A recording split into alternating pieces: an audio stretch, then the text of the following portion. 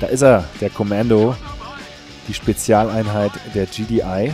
Und der ist ein richtig, richtig, richtig tödlicher Typ. Mit coolen Sprüchen. Zack, der kann die Gegner aus hoher Entfernung schon mit einem Schuss killen. Die Infanterie ist kein Problem für ihn. Schwierig ist... Oh.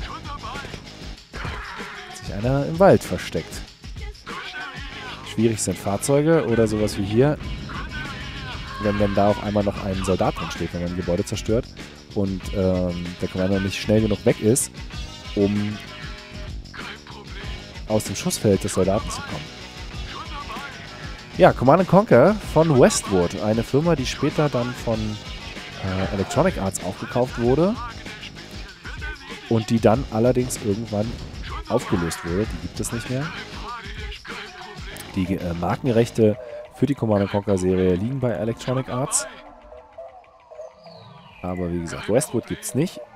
Ein paar von den Westwood-Leuten hatten jetzt zuletzt äh, an dem Grey Goo mitgearbeitet, was ich auch gespielt habe, was mir auch gut gefallen hat, aber was von dem Command Conquer trotzdem äh, ganz schön weit entfernt war. Verstärkungen sind eingetroffen. Jetzt müsste hier, wenn ich mich recht entsinne, eigentlich ein Hubschrauber kommen, genau.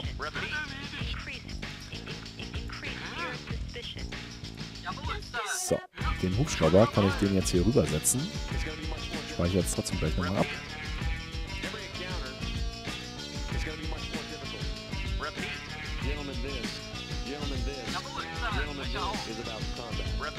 Der Hubschrauber kann immer nur sich in Gebieten bewegen, wo... Äh, obwohl, ich kann mal probieren. Ob der hier absetzen kann. Der kann sich immer nur in aufgedecktem Gebiet bewegen.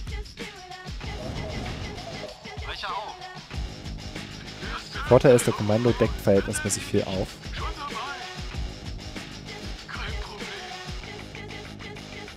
Zum Beispiel auch hier die Flugabwehr, aber das...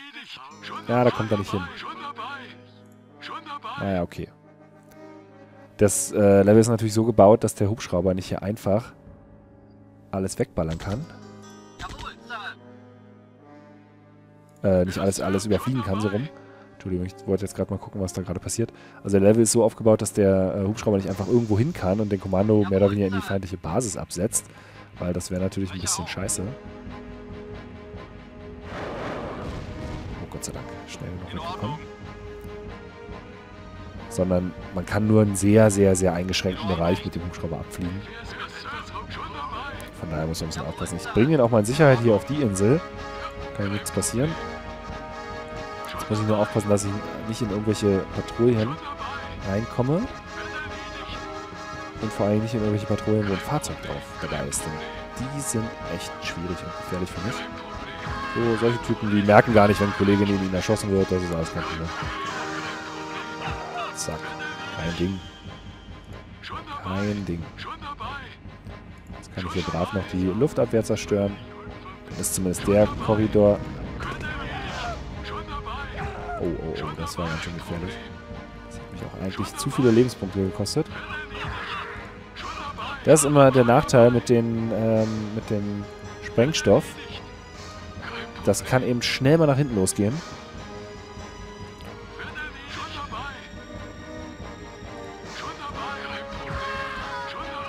wenn man blöderweise äh,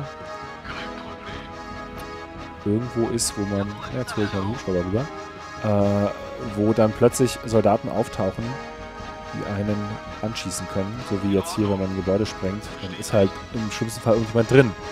Da kann man nichts machen. Ich versuche jetzt mal mein Glück und äh, schicke den Kommando rein. Und setze den Hubschrauber hier unten ab.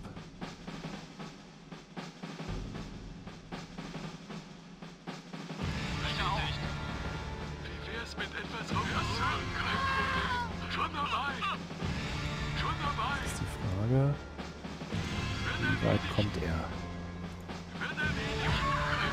Ja, immerhin, das noch bis nach hier oben schafft das. Vielleicht schaffen wir es, den Hubschrauber hier oben hinzustellen. Dass die beiden gut zusammenarbeiten. Das könnte hinhauen. Ab einem bestimmten Punkt, glaube ich, muss man in der Mission dann auch ganz schön äh, Katz und Maus spielen mit dem Gegner. Wenn der einen dann doch mal entdeckt hat, dann kann kann es ganz schön schwierig werden. Westwood hat ja unter anderem zum Beispiel auch die Lens of Lore Serie gemacht, wo ich das Lens of Lore 2 gespielt habe und damals richtig, richtig toll fand. Ich habe es nie durchgespielt, weil es, äh, ich habe das als unglaublich schwer in Erinnerung. Äh, ab einem bestimmten Punkt. Ich habe einfach nicht mehr gewusst, was ich eigentlich machen sollte. Das war auch irre groß. Ähm, und in Lens of Lore 3, also das sind Rollenspiele gewesen. Und Lens of Lore 2 war auch schon ein 3D-Rollenspiel, zumindest dass es 3D-Welten gab und hat das aus der Ich-Perspektive gespielt. Die Gegner waren aber noch Sprites, also äh, 2D flache Figuren, die dann animiert waren. Da wurde aber auch schon viel mit Rendersequenzen mit Schauspielern und so gespielt. Und dann gab es, glaube ich, die Orte, die waren dann immer äh, teilweise so als vorgerenderte Sets auch schon gebaut. So, jetzt ist ein bisschen die Frage, was soll ich denn eigentlich genau machen? Ich schaue mal meine, meinen Auftrag. Nutzen den Commander, um die Nordbasis zu infiltrieren. Zerstören sie, um die Basis auszuschalten. Ich tippe mal drauf, ich soll den Bauhof zerstören. Und das ist eigentlich so immer das, das Klassische. Oh, und da sind Flammenwerfer-Typen dabei. Shit, shit, shit, shit, shit, shit, shit, shit, shit, shit, shit. Ah, nee, nee, nee, nee, Mist, jetzt haben sie... Ah, ja, das war's. Ah, Mist.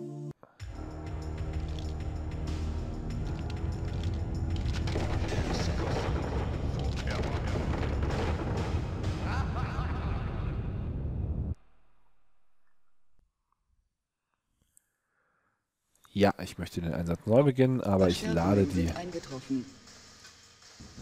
Mission, das ist hier die. So, jetzt schicke ich ihn da oben lang. Den Hubschrauber schicken wir mal sicherheitshalber hinterher. In Ordnung. Ja, Sir. Schon dabei.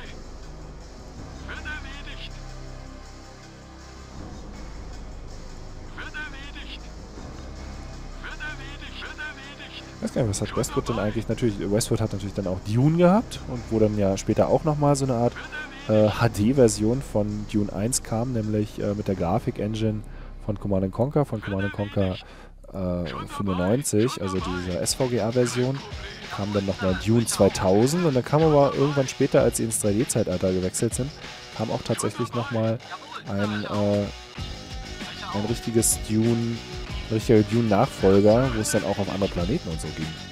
Das war dann nochmal eine andere Hausnummer. So, jetzt bringen wir den mal hier näher ran.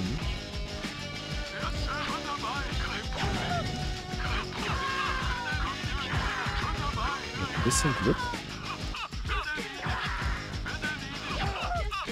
Die hier alle gut genug ausschalten? Ja, sieht ganz gut aus. Das Blöde ist, ich kann den Hubschrauber nicht benutzen, um hier hinten lang zu kommen. So, schnell weg, schnell weg, schnell weg. Steig ein, steig ein, steig ein.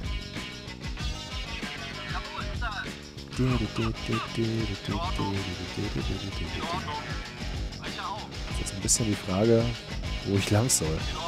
Was kann ich denn machen? Ich kann ja nicht. Ich kann ja nirgendwo hin. Was soll ich nur tun? Was soll ich nur tun? Was soll ich nur tun? Das Blöde ist, der Hubschrauber landet natürlich auch immer. So, jetzt haben sie, sind die da aus der Basis raus. Nur, ich kann in der Basis nichts machen. Verdammte Scheiße. Ja. In Ordnung. Der ist eigentlich schon zu verletzt. Der hätte niemals so verletzt sein dürfen.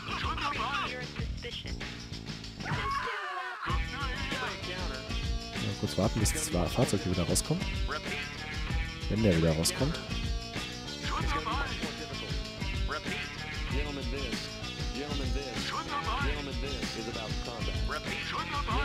Oh Mann, Mann, Mann, Mann, Mann. Oh, das mir alles zu gefährlich.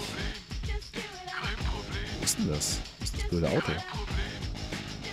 Oh shit, shit, shit, shit, shit. Oh, fährt der im Kreis?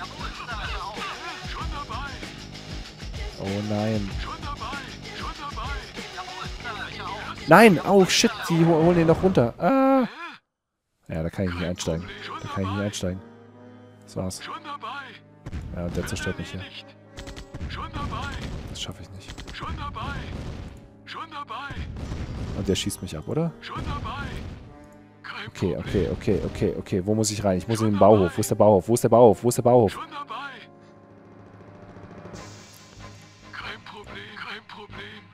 Oh Gott, soll ich die Radaranlage zerstören oder den Bauhof? Ich weiß es nicht. Ich zerstöre jetzt den Bauhof.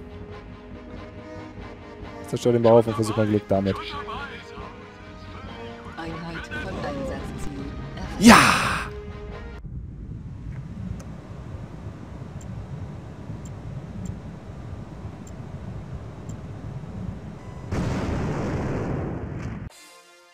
Tja, der Kommando musste dran glauben, aber er ist ja für eine gute Sache gestorben.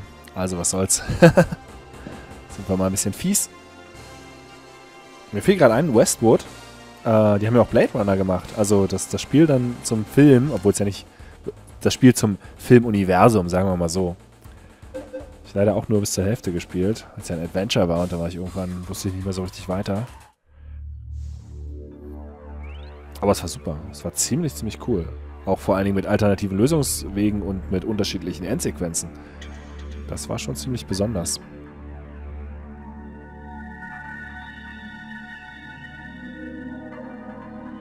Und Nox haben sie gemacht, siehst du? Westwood hat Nox gemacht. Nox war ein super cooles Action-Rollenspiel. Total geil mit äh, realistischen Sichtlinien oder, ja, was heißt realistisch, aber äh, es wurde halt immer nur das in der Welt aufgedeckt, was man tatsächlich sehen konnte. Das war toll.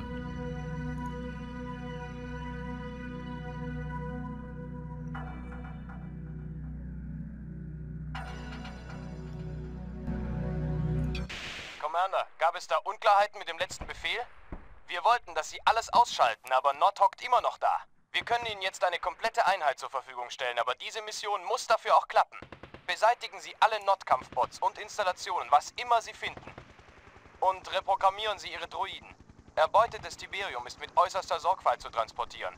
Es scheint einen negativen Einfluss auf Bots und Menschen auszuüben. Ende.